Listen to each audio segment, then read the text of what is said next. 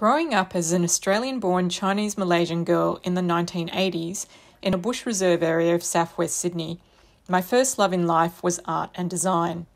My portfolio of digitally designed flyers for Professional Legal Association CLE and CPD events was part of what got me my first paid job in an administrative role at the Intellectual Disability Rights Service in Surry Hills when I was in fourth year undergraduate law school at UNSW. One of my mentors, Tanya Evers, a barrister at my current chambers, Frederick Jordan Chambers, suggested I bring along some printouts of the flyers to my interview with Anne Stringer, who was the project manager of the Criminal Justice Support Network, a project I worked for during my last two years of undergraduate law school. I wouldn't have thought of bringing the flyers along to the job interview if Tanya hadn't suggested it.